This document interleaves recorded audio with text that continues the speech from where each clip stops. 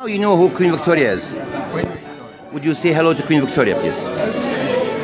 Hello, Queen Victoria. Very nice to meet No, you. no, no. no. Hello, Your Majesty. Uh, you have to behave yourself. Yeah. Hello, Your Majesty, Queen Victoria.